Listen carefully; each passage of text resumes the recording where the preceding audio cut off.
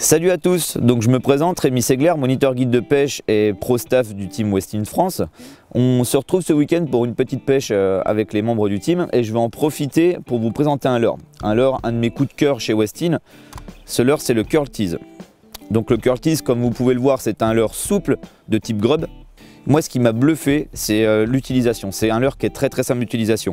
Vous allez pouvoir l'utiliser en vertical, en linéaire, en pêchant soit en planant derrière le bateau très léger, vous allez pouvoir pêcher avec des têtes sabots comme ceci, en traînant un peu plus sur le fond quand les poissons sont un peu plus durs et qui prennent les leurres sur les arrêts où il y a besoin de poser le leurre sur le fond pour qu'ils le ramassent.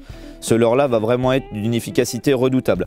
Je vais vous parler d'un coloris que j'utilise énormément, c'est le steam curd. Donc le steam curd, vraiment un coloris parfait par temps couvert, haut teinté, etc. C'est un leurre vraiment, c'est un leurre qui passe partout. Vous pouvez aussi bien le mettre aussi sur des têtes rondes hein, pour pêcher en linéaire, quand les poissons montent chasser le matin euh, sur, les, sur les bancs de plage, etc. Si j'ai le choix de garder un leurre dans tous les leurres que je, que je pêche, ça sera celui-là. Essayez-le, vous serez bluffé.